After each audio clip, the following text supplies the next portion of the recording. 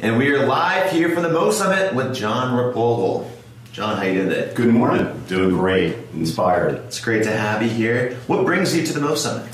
Well, I was excited to be here to convene with other thought leaders in sustainable leadership. And uh, boy, have I been inspired. Um, my company is currently working with four companies that are Real Leader 100. So it's a it's an incredible uh, chance to learn, connect, and uh, and share our stories. What is your company and what do you do? Well, currently I am leading a group called One Better Ventures. Uh, if you think about us, we're an impact advisory and investment firm. So we will go in and work with mission-led consumer goods companies in high growth mode and get alongside them. We're operators alongside them on strategy, on branding, on route to market, on talent, organization, mission, culture, the whole thing. And if they need financial capital, we can provide that as well. What do you like so much about this job? Well, I, for me right now, after running businesses for the last, you know, 10, 15 years, uh, it is really nice to put down the reins of running simply one company and lift up many reins. You know, see a multitude of businesses, see an array of problems, and to frankly be able to leverage what I've learned and apply that across a lot of different businesses. So I feel like, you know, it sounds like a trite term, but almost a multiplier effect. I get to really spread myself and, and help so many other people rather than just focusing on one company at a time. Impact and momentum are big themes of this conference. What does impact mean to you? Yeah, impact is uh, uh, translated in business, that's using business as a force for good, simply put. Um, and I'm a big believer in that. I've, I've had the chance to lead a couple of companies like Burt's Bees and Seventh Generation. Seventh Generation being a company that was a founding B Corporation or Benefit Corp. And you know, we really designed our whole organization and uh, operating model around doing more good. You know, we believe fundamentally uh, in human health uh, and we believe that you can't live a healthy life on a sick planet. So we, we take this intersection between doing well in the world for people and doing well for the planet. And you put people and planet together and you create a business model that also delivers some profit. And that's an impact company. So you said you had a lot of experience. What brought you to the impact space, and what were you doing before that? Yeah, I had an incredibly uh, good fortune in my career. I, I uh, worked for Guinness, uh, the beer company, for eight years. Had a tremendous experience, lots of growth, sales and marketing. I got to uh, lead the company over in the UK, um, and then moved to the US and was president of Guinness. And at that time, I was about 35 years old. I had a wife and two children. I was working on my personal mission statement with a coach. Uh, and then I had what's called a spear in the chest moment. I, I woke up and realized that I wasn't fulfilling my purpose. That what I wanted to do with my life and what I was doing at work weren't congruent. And so I had to find a way to live my purpose through my work. Uh, and so I made the hard choice to leave Guinness. Uh, I moved to a company called Unilever. And I had the good fortune to work with some incredibly creative people on something called the Dove Campaign for Real Beauty. Uh, we had a $400 million a year marketing budget. Uh, and we did some research and we realized that women felt less good about themselves after reading in a beauty magazine than they did beforehand. And we were perpetuating that. Uh, and deep studies, I have four daughters of, of, of young women, self esteem is everything. Mm. So we said, what can we do with this incredible fund of money to change the way people feel about themselves and to build self-esteem in young women.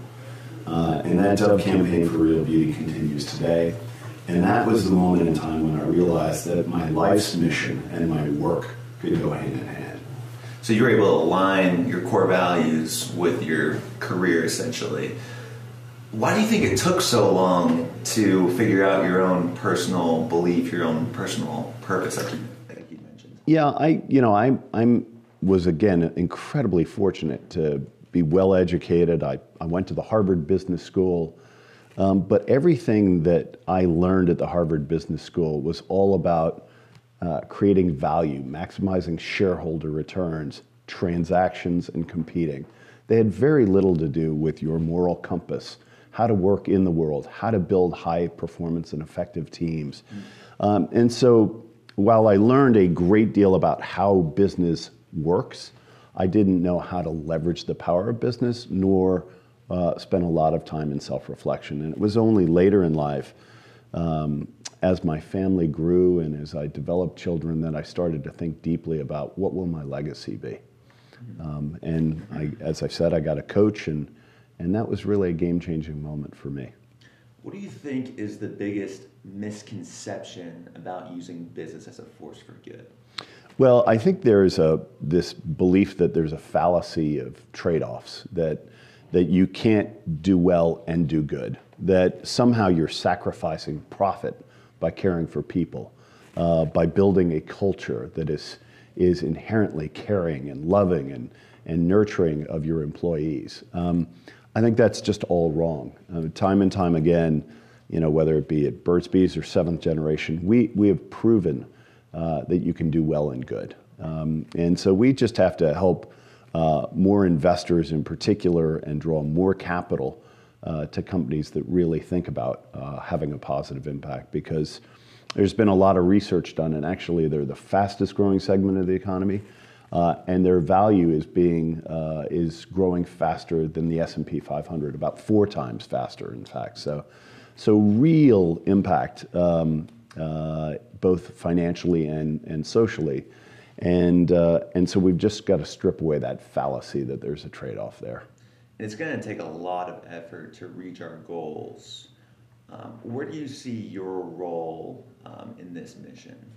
Well, I, I, see myself as, as an advocate, as, a, um, as an ambassador in a way, and, and I, I like to spend time uh, speaking and, and coaching uh, I spent some time yesterday with a group of 75 business leaders from across the state of North Carolina at a conference that's being held right next door called Leadership North Carolina and talked about what it means to be a sustainable leader. Uh, what are the principles and the hallmarks of an impact leader in the 21st century? So uh, I've been well coached, I've had great experiences, and now it's my time to give back and, and to really amplify this movement uh, that we're creating. And to you, what do you think is the most important aspect of leadership? Well, I think it begins with self self awareness, you know, self insight. You have to be true to yourself, uh, and then you need to go beyond yourself. You have to believe in serving others. And if you have strong self insight and that conviction, and you can serve others, that may, I think will make you a great impact leader. Uh, you've got to be guided by courage and vision, and have a strong moral code as you go. Um, but all of those things ultimately will allow you to become your greatest self. I'm curious. Can you share your personal mission? Sure. Yeah, my my mission is to help people realize their greatest impact in life. Mm, I like that. Yeah. So everything you do is based off that statement. That's right. Exactly. I try to align how I spend my time, how I coach, how I invest, uh, how I raise my children um, against that uh, that mission. How important is it for your employees to find their own personal mission? I think critical. I think the, the journey of self discovery uh, is everything. I mean, we're, we're, we're trying to self actualize all the time. Mm-hmm. That's the highest form of being. And so, if we can do, if we can create a culture and an environment and a support system that helps people realize their fullest potential, to come really face to face with what they're here for and how they can serve uh, that's the best thing we can do for our employees. What advice would you give to your 30 year old self after you graduated Harvard yeah, Business School? Yeah. Um, throw away what you learned uh, and follow your heart. You know, I think uh, I was so trained in the brain that my brain took over what my heart was trying to tell me.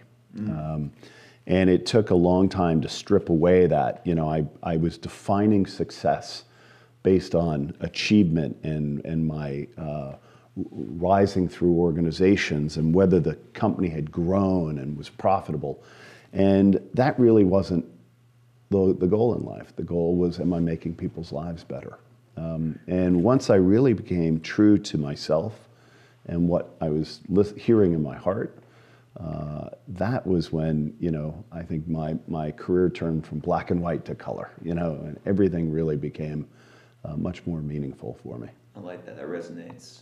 Well, John, thanks for coming on Real Leaders Live today. We talked a lot about uh, where you started, um, that, that pivotal moment where you got, took that spear in the chest uh, in your life, um, your leadership advice, and and uh, you know everything wraps around your personal mission to and is, is released in everything you do. That's what we consider leadership. What would you say your definition of a real leader is? I'd say a real leader is one who uh, seeks truth, uh, has the courage uh, to change things, uh, and uh, has the power to be vulnerable uh, when helping and serving others. Wonderful. John, thanks for coming on Real Leaders Live Pleasure. Folks, thanks for tuning in this morning um, uh, to the Real Leaders Live, and we're going to now uh, show a Real Leaders Top 100 Impact Companies video. John, thanks for your time today. Thank you. Thank you.